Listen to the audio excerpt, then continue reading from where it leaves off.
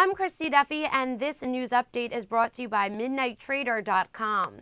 Alcoa is recording aggressive first half pre market upside support, rising from $11.44 to a high of $11.55 per share. The stock was reportedly upgraded to outperform from neutral at Macquarie. Buy support is robust at current levels, and indication traders may be establishing an early floor and perhaps leaving room for more bumps higher deeper into the pre bell session. Alcoa currently at $11.55, up 15 cents since early morning trading. Percent change 1.3%. I'm Christy Duffy for Smart Trend News. For more on this report, you can find it on midnighttrader.com. You can also receive more news updates throughout the day by subscribing to our YouTube channel, Trade the Trend.